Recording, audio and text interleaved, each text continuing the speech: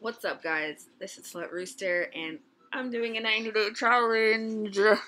but not just any 90 day challenge, as you can see, a discipline one. So, if you don't know me, I write lesbian erotica. That's how I came up with the name Slut Rooster. Has nothing to do with a slutty chicken, just an alias because I also own a business and I didn't want my clients to be like, yo, what the, you know, what is this sludge shit you got going on and all that. Okay, so let's do some backstory. I've been an entrepreneur for at least 10 years. I have started some great businesses, hobbies, side hustles, whatever you want to call it. I really have enjoyed that. And I realized over the years that the reason why things don't stick outside of just discipline is because I just like researching how to make money. that makes any sense. I like the idea of it. I I'll try the strategy, and then I walk away and I go find something else. So it doesn't matter if it may be twenty dollars, two hundred, whatever the goal is. The goal is achieved, and then I walk away. Obviously, that would make for a great YouTube channel because tons of people do that. But anyways, so today it hit me. I'm like, I want to be more disciplined everyone had their uh, 2020 New Year, New Me, and in February, I decided that I was going to fast. I won't get into all the religious part of it, but I did juicing. I juiced every two hours, did a little smoothie, and then I did um, water. That was about nine, ten days before I just started feeling really sick. And I was like, bro, I can't. So from I guess I was like maybe the 10th of Feb. So February 10th all the way till today, which is the 27th, I have been eating a vegetarian lifestyle. Really cutting out, you know, my usual cakes and ice creams and all the great, great, great bags of chips that I miss so much. Needless to say, I did lose weight. I was doing it for religious reasons. Plus, I really wanted to lose weight. I had about 10, 15, 20 pounds that I just like to get rid of. And so there we are. Fast forward to today, and I'm like, you know what? I kind of liked the discipline I had. I wasn't completely disciplined in some respects. Like, I really didn't want to eat bread, but I definitely had bagels a couple weeks ago. You know, I really didn't want to eat anything fried, but I definitely had ch- chips when I was on a road trip uh, a couple weeks ago. So, you know, some things I definitely did not stick to and other things I really committed to, which is amazing for me. And this is a new lifestyle change for me. So, hence this birth of a 90 day discipline. And so, in this video, we're going to kind of go through just basics. You know, I kind of created this little presentation and then I'm going to document it for 90 days. And that's going to be a discipline in itself. Can I document for 90 days? Not every day, but I mean, you know, 90 days is like 90 videos. and so maybe not 90 videos, but hell, can I even get 60 videos? Right? All of this is a challenge and I'm looking forward to growing this space with growing this space with you, but growing in this space, you viewing it, us sharing it. I don't know when you'll find this uh, challenge, if you'll be here day one with me or if you'll find me on day 77. I don't know. But anyway, so let's start. All right, so my overall agenda, and uh, we're gonna just forget all the grammatics and I'm spelling because I definitely did spell check. So the overall, okay, so number one, create habits that increase productivity. Two, get healthier. Like I said, I already kind of started this journey of being, I won't say vegetarian, I won't say vegan, but choosing to have more plant based foods in my diet and you know, the burgers and the pizza that I adore, having that more sparingly. The chocolate cakes, the ice creams, having that more sparingly. So it's everything's still there, but you know, just switch the ratio to more of like a 20% or less for the bad foods and 80% of it being lifestyle. Create a better cardio life for my puppies. So I have two dogs, August and Poppington. They are amazing Poppington is a very traditional dog. He likes the dog parks and, you know, he wants to be outside. He wants to play fetch. He wants to socialize with other dogs outside of, you know, his sister. Like he's he's a real dog dog. He loves hiking. Like And I don't do enough of that, so I feel bad. and August is more like I would love to sit on your lap and watch you hike. Yeah, that's August. She's very kind of bougie, pretentious. And she's not even like one of those really cute dogs where when you look at her, you're like, oh yeah, I can see that. It's like you can't really see it, but she really is. Like fetch for her is just running with the ball. You know, they go get it, but she don't get it. She just turns back around and runs back. So yeah, she's just she's very, very hilarious in that respect. So number four, retire from laborious tasks. What does that mean? Well, I own a business and I tend to still wear all the hats. I haven't built a business I could walk away from and let my employees or contractors do it all for me. So I want to retire from that way of thinking, that lifestyle, and even cleaning my own home. Like that could be a job for someone else who really could use the money and really finds cleaning to be therapeutic. Like just anything laborious, uh, laborious, however you say it, is uh, what I wish to eliminate and number five, I want to spend more days at Disneyland. Now, yes, we're in the middle of pandemic. That is going to be challenging. I don't know how a theme parks work with a mask. But if I choose days where there's not as many people, which I would imagine is before summer and maybe like Tuesday, Wednesday, Thursday, probably less people. I think it'll be fun.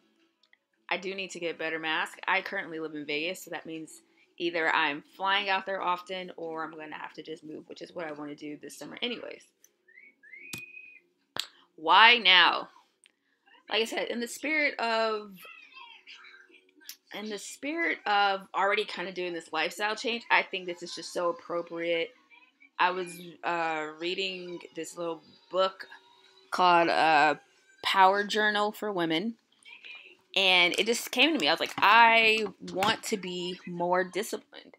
I don't want to have to join the army to do that, but I understand why the military men and women, when they come back, if they're, you know, lucky enough to come back to, um, you know, their, you know, the soil, and, you know, they usually start businesses and they really thrive because they already have such such great discipline. They already have such goal setting. Like they're very structured. They have a routine. Like a lot of a lot of the things like they may not exercise as much, you know, but some of those military traits stick with them. And that's kind of what I want to achieve without having to sign up.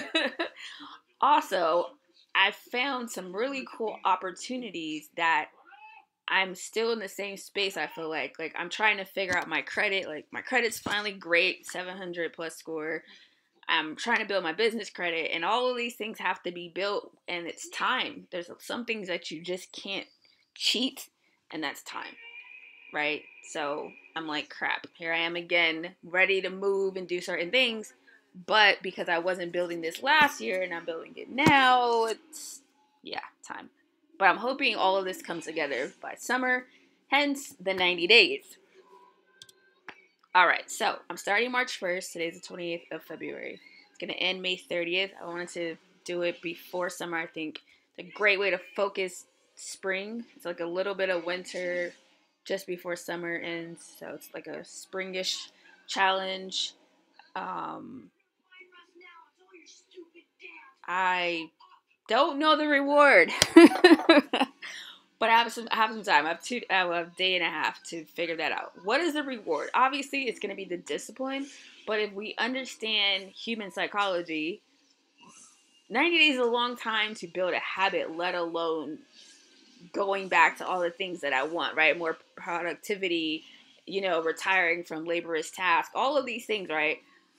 It's like, what's going to keep me motivated for the 90 days? I haven't figured that out because it's not Disneyland. I mean, that would be great but there's got to be something that is really gonna shoot me in something. I don't know, but I'm gonna figure it out because that's the whole point of this is to build it out.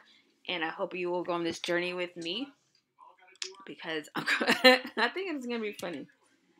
So it is my goal to also, um, like I said, make a whole course on this the next video, I'm gonna kind of go find this. I don't even know. Is there a discipline challenge already that I could just buy, or if I do I have to create this from myself?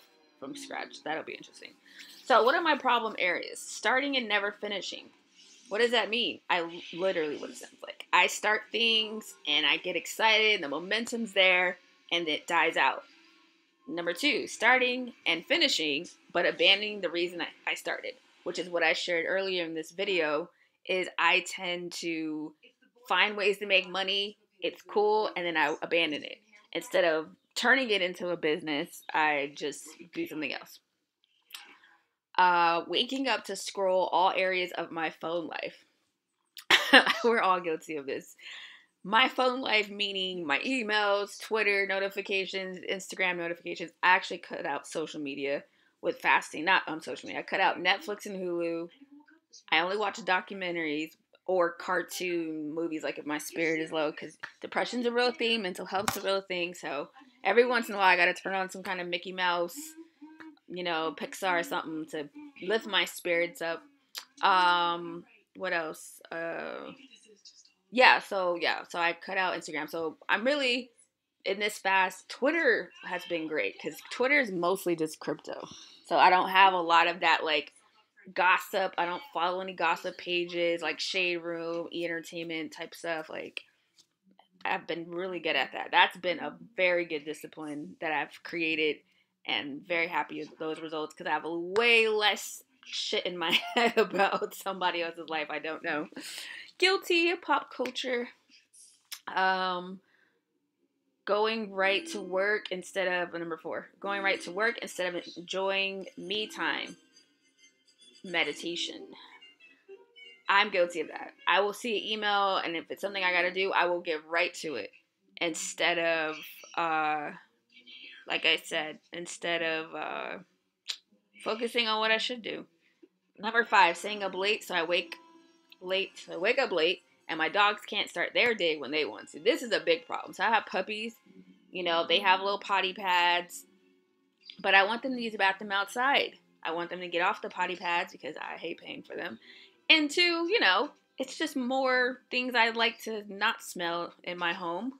so that's a part of why I need to wake up at a certain time, build that routine. Not having a budget.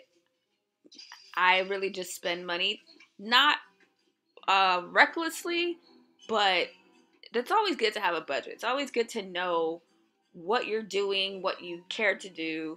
It's just a responsible thing, even when you have millions of dollars, to make sure that your money is being invested. I'm big on investing. That's why I'm in crypto. I'm in the stock market. So being able to allocate certain funds every month for savings, for investments, for you know, everyday living expenses is super important. Not planning anything. I tend to just buy like even in crypto, I'll buy something and then I don't know why I bought it. I don't know when I'm supposed to sell it. I don't know anything. Eventually figure it out, but that's the point. Why not just make a plan before you do all the things? Number eight, when planning, not reviewing the plan.